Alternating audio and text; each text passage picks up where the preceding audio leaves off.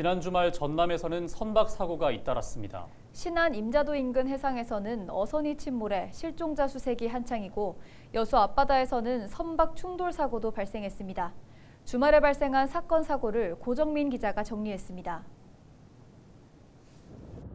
어선 한 척이 뒤집힌 채 바다 한가운데에 떠 있습니다. 해경이 선박 주변에서 수색 작업을 벌입니다. 지난 4일 밤 11시 20분쯤 신안 임자도 인근 해상에서 24톤급 통발어선인 청보호가 침몰한 겁니다. 사고 당시 현장에선 승선원 12명 가운데 3명이 다른 선박에 의해 구조됐습니다.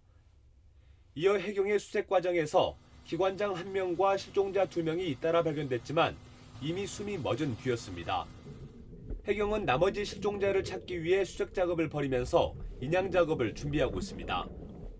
침몰 원인에 대해선 과적이나 선체 결함 등 다양한 가능성이 제기된 만큼 인양을 마무리한 뒤 조사를 벌이기로 했습니다.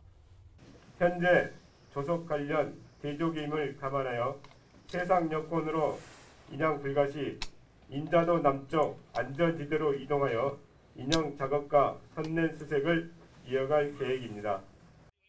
여수에선 선박 충돌 사고도 잇따랐습니다. 5일 저녁 8시쯤 여수 연도 인근 해상에서 화물선과 어선이 부딪힌 겁니다. 이 사고로 어선에 타고 있던 선원 13명 가운데 9명이 다쳐 병원으로 이송됐고 생명엔 지장이 없는 것으로 알려졌습니다. 여수해경은 선박이 서로 발견하지 못한 상태에서 부주의 때문에 사고가 난 것으로 보고 정확한 사고 경위를 조사하고 있습니다. 헬로티비 뉴스 고정민입니다.